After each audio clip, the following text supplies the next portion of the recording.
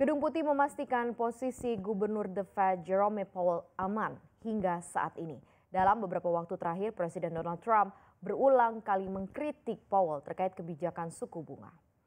Penasihat ekonomi Amerika Serikat Larry Kudlow mengatakan bahwa Powell aman untuk saat ini dan tidak ada upaya untuk mencopotnya dari posisi sekarang. Saat ini investor menantikan pernyataan semesteran Jerome Powell di depan Komite Keuangan Komite Jasa Keuangan pada hari Rabu dan pernyataan tersebut dapat menjadi bocoran arah kebijakan The Fed usai rilis data tenaga kerja yang kuat pekan lalu. Data tersebut menurunkan ekspektasi tentang penurunan suku bunga yang lebih agresif.